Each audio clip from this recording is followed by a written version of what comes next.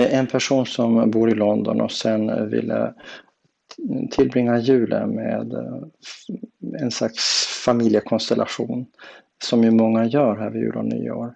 Eh, och har varit väldigt noga med både andningsskydd och visir vid resor och haft öppna fönster i bil och i bostad redan innan symptom just med tanke på att smittspridning från en symptomfri inte ska ske.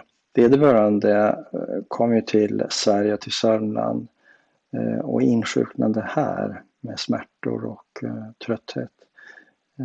Tog ganska snart kontakt med vård och fick provet taget och därefter kontaktades vi i Sörmland på smittskyddet.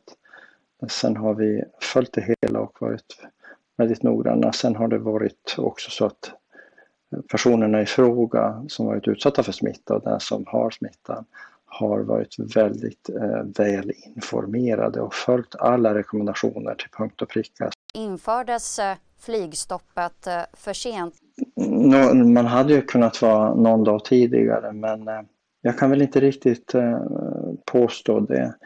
Det måste ju ändå ske någon slags bedömning först.